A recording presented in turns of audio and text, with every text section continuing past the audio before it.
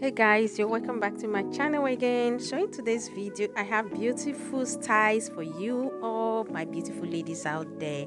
Like what you're seeing right now this is a beautiful white design. Like i said i'm not a white person and this style looks so beautiful on her. So she's a popular celebrity at worry picking or so like in one of my video i said you just have to make sure your styles, the styles you're choosing will definitely suit your body shape. Yeah, whatever body shape you have, even if you have figure 9, figure 8, figure apple shape or pear shape, whatever shape you have, there's definitely that style that will suit your body figure, your body shape. And that is why I always advise talk to professionals. Don't just walk to any tailor you see out there. Because most of these tailors they will tell you they know how to make these clothes.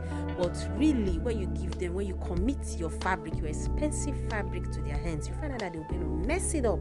Yeah, I'm not trying to talk down on some tailors because I know making this clothes is not still easy. But you, as the customer, the client, you need to make this work easy for this tailor because you can imagine someone that have I'm not talking down on any shape, but you see sometimes you see some people they'll look at someone that have hourglass figure and you know your shape is not hourglass and you want to make that exactly close that the hourglass figure is wearing.